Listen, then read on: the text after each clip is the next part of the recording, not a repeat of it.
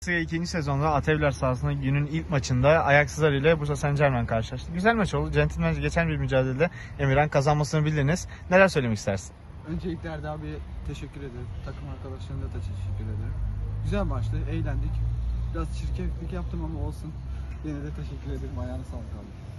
Teşekkürler. Rakibimizi tebrik ederim. Haklı bir galibiyet aldılar. Ee, yanılmıyorsam 6-3 bitti. Son anda bir gol yedik. Normalde başa baş gidiyorduk. 2-0'da öndeydik. Oradan öne geçti ee, rakip takım.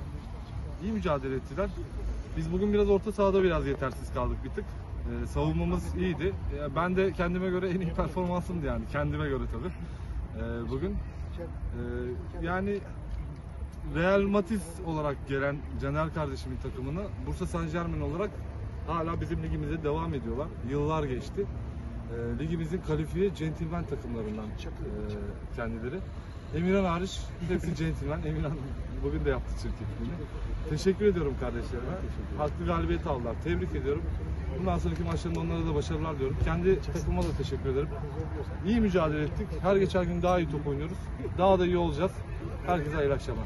Biz de buradan iki takıma başarılar dileriz. Teşekkürler, iyi akşamlar.